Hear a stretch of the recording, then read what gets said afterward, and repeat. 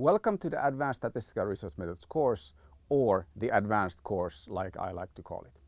This course is a continuation from my basic course or Statistical Research Methods, which many of you have already taken.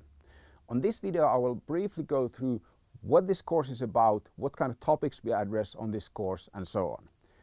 Other videos in the introductory set will explain the practicalities or how you work through the course and what kind of tools we use, how you're graded, what kind of credits you get, and so on. Let's get to business. So what is this course about? What will you learn? On the basic course, my idea was to teach you basics of research design and teach you how to use regression analysis and factor analysis and some other very basic tools and understand them on a more fundamental level uh, so that you can apply them in an informed way instead of simply following this kind of cookbook or recipe approach. On this course, we will expand from that a lot. So we will uh, go through some of the more advanced analysis. So we will do structural equation modeling, multi-level modeling, missing data, and so on. And we will try to understand these techniques or a more fundamental level going beyond these kind of like uh, procedures and checklists and uh, best practices and really understand what these techniques are about, what are the assumptions they're based on, what are the principles they're based on, and how they should be used in an informed way instead of simply following what others have been doing. After this course, you should be able to carry out these analyses efficiently, effectively, and reproducibly using, S, using R or Stata. I don't support SPSS for, for two reasons while you could do some of this analysis with SPSS, most of the things that we do on this course are simply not possible with that software. Also, I have no idea how to do, for example, multi-level multi-level model with SPSS. So be warned, this is about advanced stuff using R or SPSS or Stata, and these are the software that you should be using. You can also do, do uh, some of the work with Mplus, and if any of the students want to do that, I can provide instruction on that. Another important thing beyond effectively, efficiently, and uh, is the reproducibility of the analysis. It is very important, and this has been highlighted in many, many different uh, articles recently, that we are able to reproduce the analysis that we present in an article. So you should always document every single step from the raw data to the final table in an article. The ideal way of accomplishing that is through automation. So we will learn how to construct your Stata-Do file or R file in a way that it starts by loading the dataset and then exports all tables and then we can just copy paste or link that table to Word document so there is no manual work involved.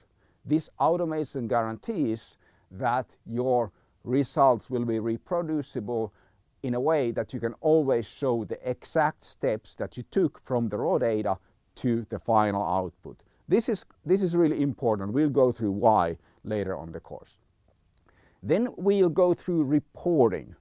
In contrast to the basic course where you did one to three data analysis assignments and, and wrote reports, on, on this course we will focus on, on different kinds of interpretations of, of analysis techniques and how to do, for example, graphical displays of results. So the idea here is that we try to make our results understandable also to people who don't know the method that we are applying. Because if we are realistic, if we use, for example, uh, Arellano-Bond estimator for dynamic panel models, not many researchers understand what that is about. Finally, you should be able to review articles using basics, basic and applied techniques and you should be able to uh, read and produce methodological evidence. This final point is important because your career as a professional researcher does not stop on this course. And you'll probably have to learn some techniques that go beyond this course. For example, uh, there might be specialized techniques that are applicable to certain niches that I don't cover on the course. Or there might be new techniques that come out after you have taken this course.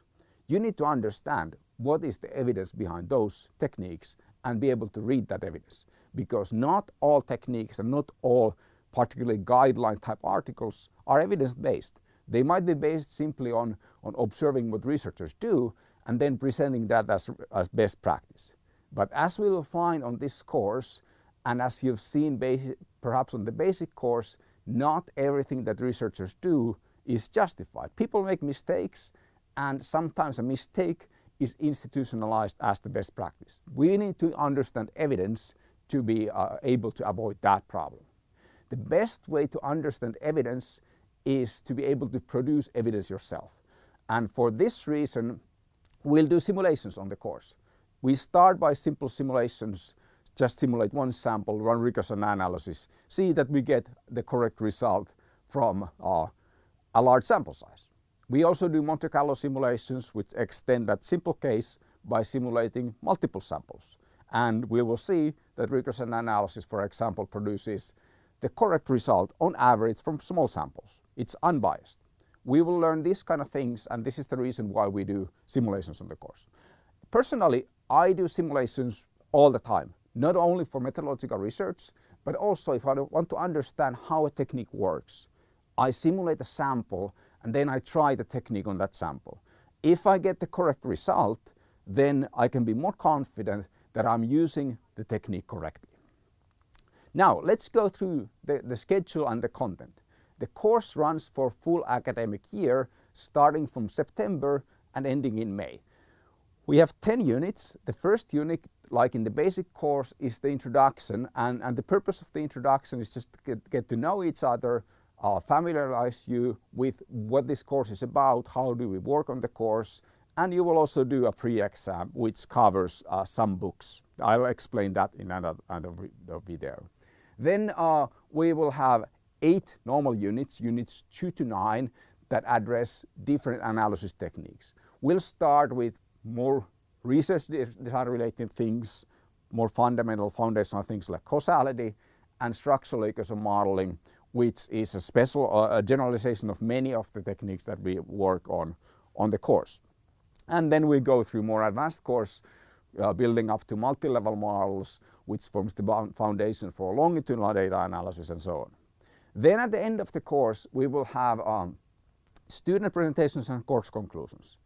Every student on this course makes two presentations. You're, you present results of one Monte Carlo simulation that you did on your own, of course with the, with the help of, of other students and myself. And then you will also get to pick a methodological article that we have not covered on the course and then present that article to others. The purpose here is to uh, teach you how to evaluate evidence again. And the best way is to produce and present evidence, then you really need, start to understand what the evidence is, is about and how it should be interpreted. Finally, we have a final exam where you get to uh, put your skills to the test and I can guarantee that that is going to be pretty challenging. You don't have to get it all correctly to get a 5, but if you get it all correctly, you are probably in at least top 1% of quantitative researchers in the world. So welcome to the course and in the following videos I will explain the practicalities in more detail.